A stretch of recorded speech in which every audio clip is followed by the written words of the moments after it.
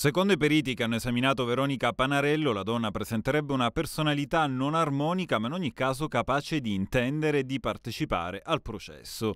Insomma, non avrebbe disturbi mentali clinicamente rilevanti e questa è la conclusione degli esami psichiatrici che erano stati disposti dal GUP, davanti al quale la donna è sotto processo per aver ucciso il figlio Loris e per averne occultato il cadavere nel canalone di Contrada Mulino Vecchio a Santa Croce, Camerina.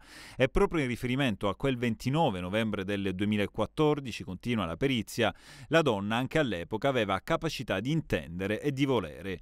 Il processo si celebra con il rito abbreviato condizionato a una perizia psichiatrica che è stata redatta da Roberto Catanesi, ordinario di psicopatologia forense all'Università di Bari, ed Eugenio Aguglia, professore ordinario di psichiatria all'Ateneo di Catania.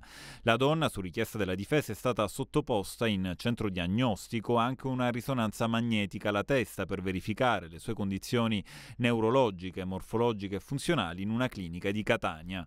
Il processo riprenderà il prossimo 20 giugno. Veronica Panarello lo scorso gennaio ha accusato anche il suocero Andrea Stivalle di aver ucciso il bambino per impedirgli di rivelare una loro presunta relazione che l'uomo ha sempre negato anche davanti al PM che lo ha indagato come atto dovuto.